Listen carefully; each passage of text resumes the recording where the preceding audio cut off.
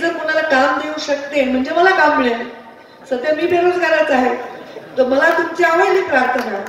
म्हणजे म्हणतात एक तीर में दोष शिकार. जीवनाला एन्जॉय करणं चूक आहे. म्हणजे तरुणांची आपली पद्धत आहे महिलांची आपली पद्धत आहे वृद्धांची आपली पद्धत आहे. पण त्याच्या सीमारेषा ओळखणं हे आवश्यक आहे. चूक आणि बरोबर ह्याचे भान असणं आवश्यक आहे.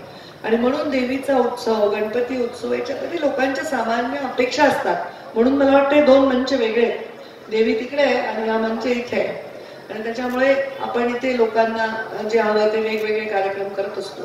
आपण संचालन खूप छान केलं. आपण आंबेजोगाईचे मला शालिनी ताई सांगत होत्या. इतके छान शब्द वापरले आपण. गुलचंद काकांनी देवीच्या कानात काय सांगितलं? की ताईंना सांग मला काहीतरी काम द्यायला आता मी म्हणजे मला खूप आनंद झाला. कारण मी जर कोणाला काम देऊ शकते म्हणजे मला काम मिळेल. सध्या मी बेरोजगारच आहे. तर मला तुमची आवडली प्रार्थना. म्हणजे म्हणतात एक तीर में दोन त्याच्यामुळे तुम्ही कानात देवीचे सांगितलं की पंकजाताईंना सांग मला काम करा. आता सेनापती आहेत तुम्ही भगवान सेनेचे. सेनापती युद्ध करतात. पण जुन्या काळातले युद्ध वेगळे होते नव्या काळातले युद्ध वेगळे आहेत.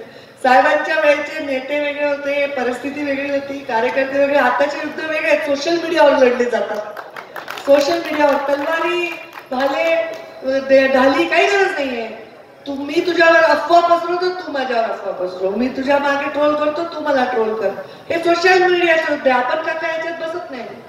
हे मंचावरचं कोणीच याच्यात बसत नाही. आम्ही सरळ माणसं आपलं आपलं काम करतो. मी राजकारणात असेल जी नाही समजा राज्याच्या अनेक लोकांची नेताही असेल पण शेवटी तुम्ही जे शेवटचा शेअर वापरला तो मी किनाऱ्यावर बसून साजिश करण्यापेक्षा मैदानात उतरून किंवा स्वर्गुत्राच्या वादळात उतरून आपली नौका पार लावण्याकडे माझा कल जास्त आहे. आणि तेच कायम राहणार आहे. तुमच्या सर्वांचे आशीर्वाद असेच मिळो. मलाही खूप वाटतं. माझ्याकडे येणाऱ्या प्रत्येक माणसाचं मी समाधान